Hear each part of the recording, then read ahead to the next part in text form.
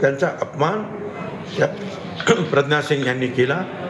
त्यांचा मी निषेध करतो आणि सर्व देशाने त्यांचा निषेध केला पाहिजे.